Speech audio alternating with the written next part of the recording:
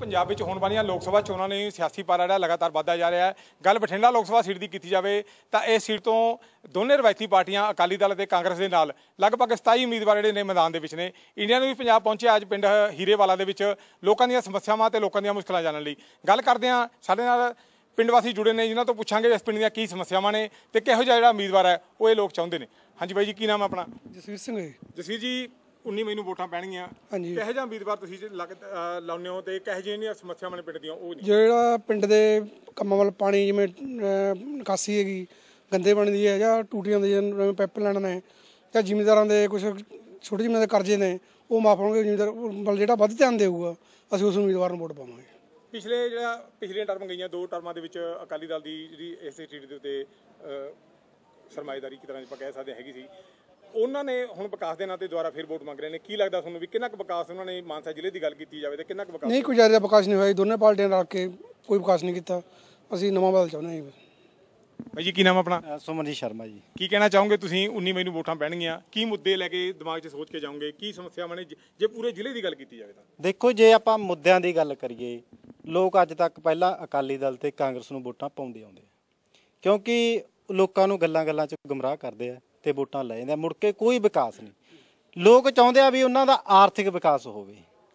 ਜਦੋਂ ਲੋਕਾਂ ਦਾ ਆਰਥਿਕ ਵਿਕਾਸ ਹੋ ਗਿਆ ਤਾਂ ਲੋਕ ਆਪਣੇ ਆਪ ਹੀ ਵਧੀਆ ਸਥਿਤੀ ਦੇ ਵਿੱਚ ਪਹੁੰਚ ਜਾਣਗੇ। ਤੁਸੀਂ ਆਰਥਿਕ ਬੱਚਾ ਵਿਕਾ- ਆਰਥਿਕ ਵਿਕਾਸ ਦੀ ਗੱਲ ਕਰਦੇ ਹੋ। ਆਰਥਿਕ ਵਿਕਾਸ ਤੁਸੀਂ ਕਿਸ ਨੂੰ ਮੰਨਦੇ ਹੋ? ਕੀ ਸਿਹਤ ਸਹੂਲਤਾਂ ਸਿੱਖਿਆ ਹਾਂਜੀ, ਹਾਂਜੀ। ਇਹ ਜਿਹੜੀਆਂ ਬੁਨਿਆਦੀ ਸਹੂਲਤਾਂ ਨੇ ਉਹਨਾਂ ਦੀ ਇੱਥੇ ਕਮੀ ਹੈ ਜਾਂ ਉਹ ਪੂਰੀਆਂ ਨੇ? ਹਾਂਜੀ ਹਾਂਜੀ। ਇਹ ਸਭ ਤੋਂ ਵੱਡੀ ਕਮੀ ਹੈ ਜੀ। ਬੱਚਿਆਂ ਨੂੰ ਜੇ ਐਜੂਕੇਸ਼ਨ ਫ੍ਰੀ ਮਿਲਦੀ ਹੈ ਕਿਉਂਕਿ ਐਜੂਕੇਸ਼ਨ ਫ੍ਰੀ ਦੇਣ ਦਾ ਹੱਕ ਹੈਗਾ। ਜੇ ਸਾਡੇ ਬੱਚੇ ਹੁਣ ਦਿੱਲੀ ਦੇ ਵਿੱਚ ਹੈਗਾ ਉੱਥੇ ਦਲਤ ਦਾ ਲੜਕਾ ਤੇ ਇੱਕ ਅਫਸਰ ਦਾ ਲੜਕਾ। ਇੱਕ ਸਕੂਲ ਦੇ ਵਿੱਚ ਐਜੂਕੇਸ਼ਨ ਲੈਂਦੇ ਅੱਜ। ਜੇ ਸਾਡੇ ਇੱਥੇ ਕਿਸਾਨ, ਕਿਸਾਨਾਂ ਦੇ ਲੜਕਿਆਂ ਨੂੰ, ਦਲਤਾਂ ਦੇ ਲੜਕਿਆਂ ਨੂੰ ਵਧੀਆ ਐਜੂਕੇਸ਼ਨ ਮਿਲੇ, ਉਹ ਕਿਉਂ ਕਿਉਂ ਨਹੀਂ ਕਾਮਯਾਬ ਹੋਣਗੇ? ਦੂਜੀ ਗੱਲ, ਜੇ ਸਾਡੀਆਂ ਕਿਸਾਨਾਂ ਨੂੰ ਫਸਲਾਂ ਦੇ ਰੇਟ ਵਧੀਆ ਮਿਲਦੇ ਆ, ਦਿੱਲੀ ਦੇ ਵਿੱਚ 2616 ਰੁਪਏ ਅੱਜ ਰੇਟ ਹੈ ਕਣਕ ਦਾ ਤੇ 2700 ਤੋਂ ਅੱਪ ਥੋੜਾ ਜਿਹਾ ਝੋਨੇ ਦਾ ਰੇਟ ਹੈ। ਜੇ ਕਿਸਾਨਾਂ ਨੂੰ ਇੱਥੇ ਰੇਟ ਮਿਲਣਗੇ, ਉਹ ਕਿਉਂ ਨਹੀਂ ਕਾਮਯਾਬ ਹੋਣਗੇ? ਦੂਜੀ ਗੱਲ, ਸਿਹਤ ਸਹੂਲਤਾਂ ਦੀ ਗੱਲ ਕਰੀਏ ਜੇ ਆਪਾਂ। ਹੁਣ ਸਿਹਤ ਸਹੂਲਤਾਂ ਦੇ ਵਿੱਚ ਜੇ ਇੱਕ ਘਰ ਦੇ ਵਿੱਚ ਕੋਈ ਵੀ ਬਿਮਾਰੀ ਆ ਜਾਂਦੀ ਹੈ ਕੈਂਸਰ ਵਰਗੀ ਨਾਮਰਾਦ ਵਰਗੀ ਬਿਮਾਰੀ ਹੈ ਉਹਦੇ ਅ, ਲੱਖਾਂ ਰੁਪਇਆ ਲੱਗ ਜਾਂਦਾ ਹੈ। ਜੇ ਸਾਨੂੰ ਉਹ ਸਹੂਲਤਾਂ ਸਾਡਾ ਸਿਹਤ ਸਹੂਲਤਾਂ ਦਾ ਉਹ ਖਰਚਾ ਬਚੇ ਇਲਾਜ ਫ੍ਰੀ ਹੋਣ ਸਾਡੇ ਕਿਸਾਨ ਸਾਡੇ ਲੋਕ ਕਿਉਂ ਨਹੀਂ ਅਪ ਹੋਣਗੇ ਸਾਡੇ ਸਾਰਿਆਂ ਦਾ ਡਿਵੈਲਪਮੈਂਟ ਹੋਊਗਾ। ਅਸੀਂ ਲੋਕ ਇਹ ਚੀਜ਼ਾਂ ਭਾਲਦੇ ਆ ਨਾ ਕਿ ਸਾਨੂੰ ਗੁੰਮਰਾਹ ਕਰਕੇ ਵੋਟਾਂ ਪਵਾਈਆਂ ਜਾਣ ਵੀ ਅਸੀਂ ਐਂ ਕਰ ਦਾਂਗੇ ਉਹ ਗੱਲਾਂ ਵਾਲੇ ਸਾਨੂੰ ਉਹ ਆਪਣਾ ਗੱਲਾਂ ਵਾਲੇ ਸਾਨੂੰ ਵਿਕਾਸ ਨਹੀਂ ਚਾਹੀਦੇ ਸਾਨੂੰ ਇਹ ਵਿਕਾਸ ਚਾਹੀਦੇ ਆ। ਤਾਂ ਹੀ ਅਸੀਂ ਕੀ ਨਾਮ ਹੈ ਜੀ ਆਪਣਾ? ਮੇਰਾ ਨਾਮ ਜਸਮੇਲ ਸਿੰਘ ਹੈ ਜੀ। ਜਸਵੇਲ ਜੀ ਗੱਲ ਲੋਕਲ ਮੁੱਦਿਆਂ ਦੀ ਕੀਤੀ ਜਾਵੇ ਜ਼ਿਲ੍ਹੇ ਮਾਨਸਾ ਦੀ ਗੱਲ ਕਰੀਏ ਆਪਾਂ ਕੀ ਕੀ ਵਿਕਾਸ ਦੀਆਂ ਘਾਟ ਕਮੀਆਂ ਤੁਸੀਂ ਮਹਿਸੂਸ ਕਰਦੇ ਹੋ? ਦੇਖੋ ਜੀ ਸਭ ਤੋਂ ਪਹਿਲਾਂ ਤਾਂ ਮੈਂ ਪ੍ਰੈਸ ਵੀਰਾਂ ਦਾ ਇੱਥੇ ਪਹੁੰਚਣ ਤੇ ਬਹੁਤ ਧੰਨਵਾਦ ਵੀ ਕਰਦਾ। ਤੇ ਆਪਦੇ ਕੁਝ ਕੁ ਦਿਲੋਂ ਜੋ ਸਾਡੇ ਦਿਲ ਦੇ ਵਿੱਚ ਬਲਬਲੇ ਨੇ ਉਹ ਅਸੀਂ ਦੱਸਣ ਦੀ ਕੋਸ਼ਿਸ਼ ਕਰਦੇ ਹਾਂ। ਪ੍ਰੈਸ ਵਾਲੇ ਵੀਰ ਸਾਡੀਆਂ ਗੱਲਾਂ ਗਾਂਹ ਪਹੁੰਚਾਉਂਦੇ ਨੇ, ਅਸੀਂ ਉਹਨਾਂ ਦਾ ਤਾਂ ਕਰਕੇ ਧੰਨਵਾਦ ਕਰਦੇ ਹਾਂ।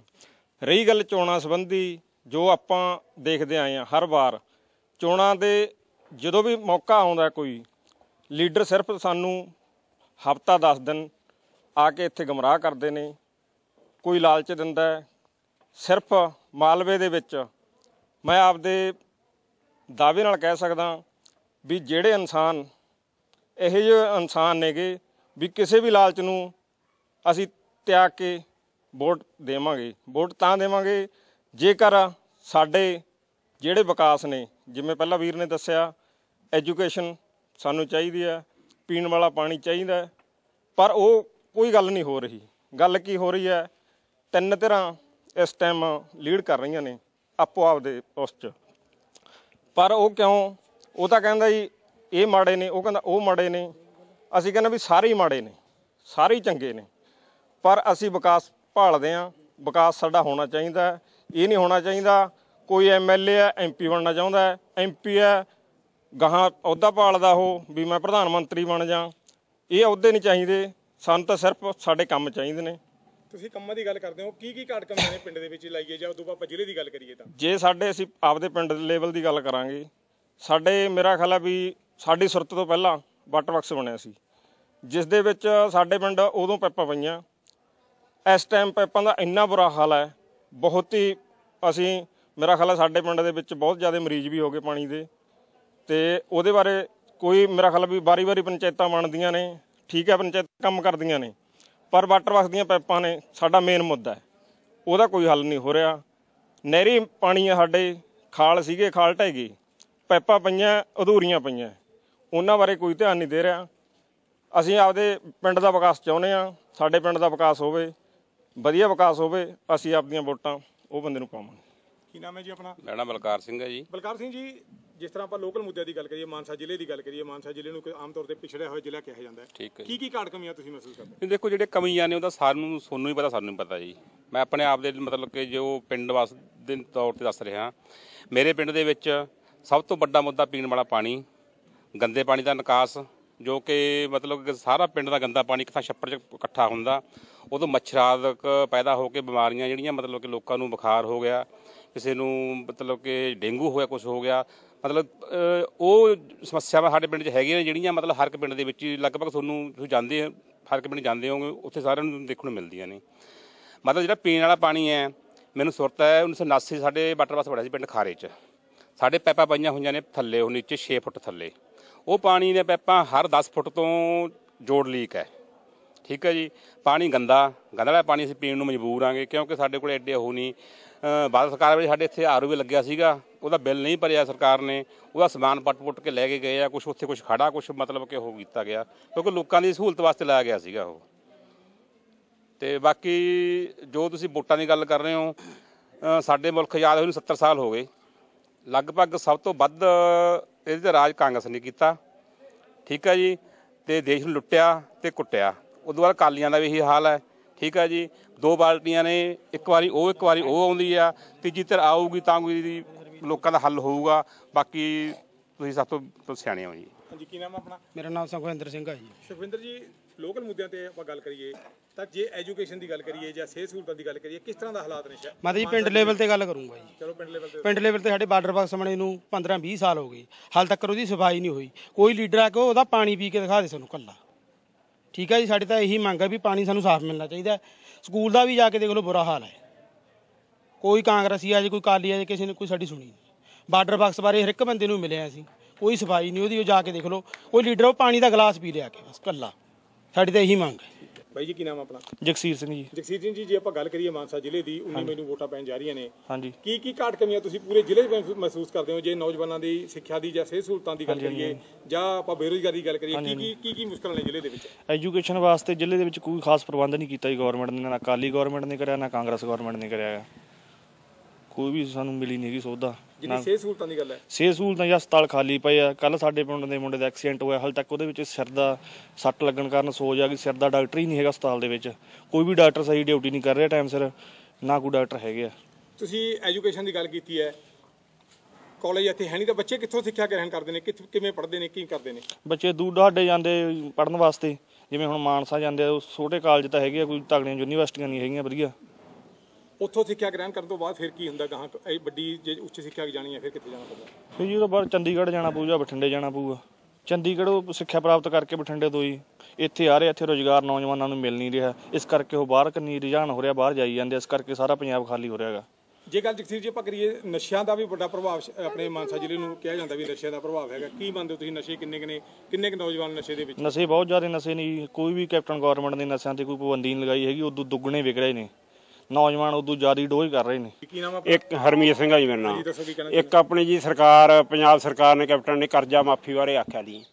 ਜਿਹੜੇ ਕਿਸਾਨ ਇੱਕ ਇੱਕ ਕਿੱਲੇ ਵਾਲੇ ਜਾਂ ਡੂਢ ਡੂਢ ਕਿੱਲੇ ਵਾਲਿਆਂ ਦਾ ਕਰਜ਼ਾ ਨਹੀਂ ਮਾਫ ਹੋਇਆ ਉਹਨਾਂ ਦਾ ਸਰ- ਮੇਰਾ ਕਰਜ਼ਾ ਅੱਜ ਤੋਂ 22 ਸਾਲ ਪਹਿਲਾਂ ਦਾ ਇੱਕ ਲੈਂਡਮਾਰਕ ਆ ਬੈਂਕ ਆ ਮਾਨਸਾ ਦੀ ਉਹਦੇ ਵਿੱਚੋਂ ਲੈਤਾ ਦੀਗਾ ਉਹ ਕਹਿੰਦੇ ਵੀ ਉਹਦਾ ਕਰਜ਼ਾ ਹੀ ਪੁਰਾਣਾ ਹੋ ਗਿਆ ਉਹਨੂੰ ਚੱਕੇ ਹੀ ਨਹੀਂ। ਜਿਹੜਾ ਦਾ ਸਰਦਾਰਾਂ ਦੇ ਵਿੱਚ ਵੋਟਾਂ ਪਈਆਂ ਨੇ ਆਪਣੀਆਂ ਜਿਨ੍ਹਾਂ ਦੇ ਵੋਟਾਂ ਤੋਂ ਇੱਕ ਮਹੀਨਾ ਵੀ ਪਹਿਲਾਂ ਇੱਕ ਮਹੀਨਾ ਪਹਿਲਾਂ ਪਹਿਲਾਂ ਰੁਪਏ ਲਿੱਤੇ ਗਏ ਬੈਂਕ ਤੋਂ ਉਹਨਾਂ ਦਾ ਉਹਦਾ ਮਾਫੀ ਜਾ ਗਿਆ। ਜਿਹੜਾ ਦਾ 23 ਸਾਲ ਪੁਰਾਣਾ ਕਰਜ਼ਾ ਉਹਨਾਂ ਦਾ 22 ਸਾਲ ਪੁਰਾਣਾ ਉਹਨਾਂ ਦਾ ਕਰਜ਼ਾ ਨਹੀਂ ਚੱਕਿਆ ਗਿਆ। ਕੀ ਮੰਗ ਕਰਦੇ ਤੁਸੀਂ? ਵੀ ਉਹ ਮਾਫੀ ਜਾਣਾ ਚਾਹੀਦਾ ਜੀ ਉਹ ਸਕੀਮ ਚ ਲੈਣਾ ਚਾਹੀਦਾ ਇਹਨਾਂ ਨੂੰ। ਬਾਈ ਜੀ ਕੀ ਨਾਮ ਆਪਣਾ? ਮੱਖਣ ਸਿੰਘ ਜੀ। ਮਕਰ ਸਿੰਘ ਆਪਾਂ ਇੱਥੇ ਹੀਰੇ ਵਾਲੇ ਪਿੰਡ ਦੇ ਵਿੱਚ ਖੜੇ ਆ ਕੀ ਸਮੱਸਿਆਵਾਂ ਨੇ ਪਿੰਡ ਦੀਆਂ?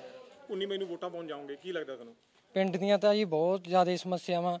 ਸਕੂਲ ਆ ਸਾਡੇ ਜੀ ਉਹਦਾ 8ਵੀਂ ਤੱਕ ਹੀ ਆ ਜੀ। ਇੱਥੇ 10ਵੀਂ ਤੱਕ ਸਕੂਲ ਹੋਣਾ ਚਾਹੀਦਾ ਜੀ। ਤੇ ਸਾਰੇ ਖਾਰੇ ਪੜਨ ਲਈ ਵਿਦਿਆਰਥੀ ਜਾਂਦੇ ਆ ਤੇ ਨਾ ਇੱਥੇ ਕੋਈ ਕਾਲਜ ਦੀ ਸਹੂਲਤ ਆ ਜੀ। ਸੜਕਾਂ ਦੇ ਨਾਲੀਆਂ ਦੀ ਗੱਲ ਕਰੀਏ ਅਕਾਲੀ ਸਰਕਾਰ ਵੱਲੋਂ ਦਾਵਾ ਕੀਤਾ ਜਾਂਦਾ ਵਿਕਾਸ ਬਹੁਤ ਕਰਾਇਆ। ਕਿੰਨਾ ਕੁ ਵਿਕਾਸ ਹੋਇਆ ਪਿੰਡ ਕੱਲੀਆਂ ਜੀ ਨਾਲੀਆਂ ਤੇ ਆਹ ਗਲੀਆਂ ਤੱਕ ਹੀ ਸੀਮਤ ਆ ਸਰਕਾਰ। ਕੋਈ ਹੋਰ ਰੁਜ਼ਗਾਰ ਕੋਈ ਨੌਜਵਾਨਾਂ ਬਾਰੇ ਤਾਂ ਕੋਈ ਗੱਲ ਨਹੀਂ ਕਰ ਰਿਹਾ ਜੀ। ਆ ਨਸ਼ੇ ਸਰਿਆਮ ਵਿਕ ਰਿਹਾ ਸਾਡੇ ਆ ਪਿੰਡਾਂ ਦੇ ਲਵੇ ਲਵੇ ਸਾਰੇ ਪਿੰਡਾਂ 'ਚ ਨਸ਼ੇ ਵਿਕ ਰਿਹਾ ਜੀ ਪਰ ਕੋਈ ਇਸ ਬਾਰੇ ਗੱਲ ਨਹੀਂ ਕਰ ਰਿਹਾ। ਬਸ ਆ ਗਲੀਆਂ ਨਾਲੀਆਂ ਤੱਕ ਹੀ ਸੀਮਤ ਆ ਸਰਕਾਰ।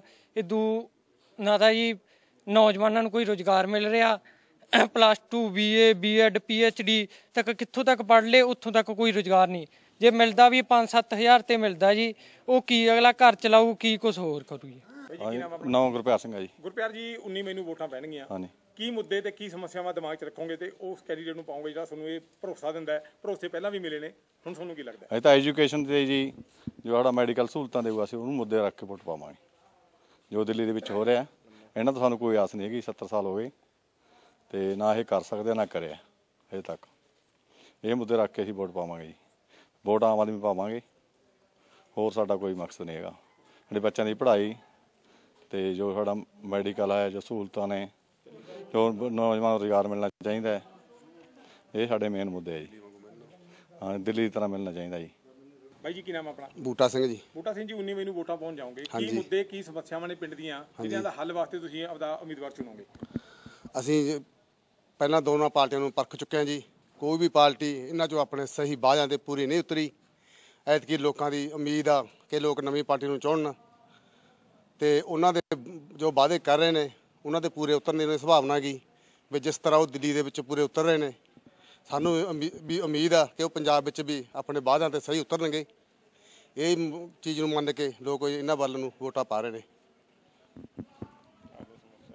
ਲੋਕਾਂ ਦੀਆਂ ਸਮੱਸਿਆਵਾਂ ਅਤੇ ਮੁੱਦੇ ਬਹੁਤ ਨੇ। ਰਵਾਇਤੀ ਪਾਰਟੀਆਂ ਤੋਂ ਅੱਕੇ ਹੋਏ ਇਹ ਲੋਕ ਹੁਣ ਜਿਹੜਾ ਹੈਗਾ ਤੀਜਾ ਬਦਲ ਇਹਨਾਂ ਵੋਟਾਂ ਦੇ ਵਿੱਚ ਚੁਣਨ ਦੀ ਜਿਹੜੀ ਤਜਵੀਜ਼ ਲੈ ਕੇ ਅੱਗੇ ਵਧ ਰਹੇ ਨੇ। ਆਉਣ ਵਾਲਾ ਸਮਾਂ ਦੱਸੂਗਾ ਵੀ ਇਸ ਜਿਹੜੀ ਬਠਿੰਡਾ ਲੋਕ ਸਭਾ ਸੀਟ ਤੋਂ ਨਤੀਜੇ ਕੀ ਕਹਿੰਦੇ ਨੇ?